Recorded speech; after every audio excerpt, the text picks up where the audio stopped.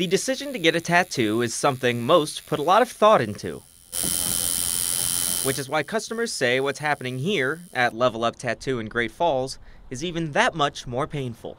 I've gotten like eight tattoos done by them in the past. Catherine Barnes is now out of state, but says it all started when the shop reached out saying they'd be visiting nearby and offered her time for a tattoo. I was actually super excited because I had something in mind that I've been wanting done for a long time. Things started seeming weird when they asked for a $200 deposit. Then it became $400. Then they reached out again. She had reached out um, a week or two after I initially scheduled, offering me a discount if I would pay in full. A day before her appointment, Barnes was canceled on and promised a refund. She had sent it via PayPal, but whenever it said it was processing, it never cleared. Months later, she still hasn't received the money. They said that they've issued refunds to everybody that needs it. That's not true. I haven't received mine. It turns out Barnes isn't alone. The Better Business Bureau says that Level Up hasn't been licensed since 2012, and they reached out to the business regarding the refund issues back in August. Now consumers are expected to report to the Montana Office of Consumer Protection to get more help.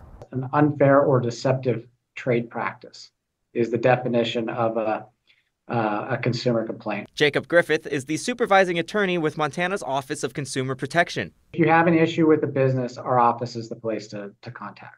On their website, you can see Level Up Tattoo has six prior complaints.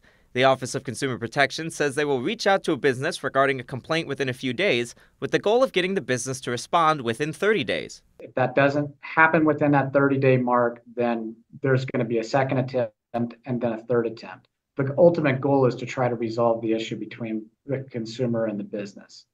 At this point, I honestly would just like my money just given back to me. I don't think it needs to go to like court. Katrina also had trouble with Level Up back in 2022.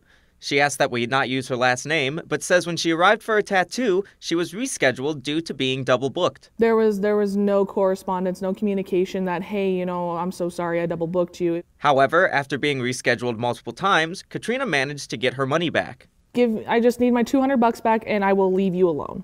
With things being said on social media, KRTV has reached out to Level Up Tattoo for a statement, but has not heard anything back. We will update you as we learn and confirm more. In Great Falls, I'm Tommy Lynch, MTN News.